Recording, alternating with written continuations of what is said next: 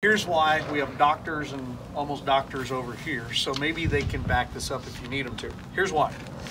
You have you have one large tendon that controls the pinky. You have one large tendon that controls the thumb. You have one large tendon that controls these three fingers. Now, all are broken down as subtendons. In fact, you have five subtendons this, but these three are controlled by one large tendon.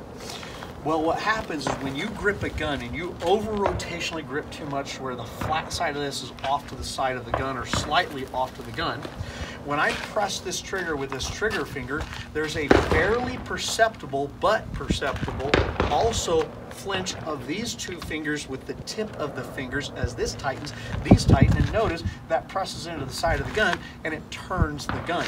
So therefore you tend to miss to your non-dominant side.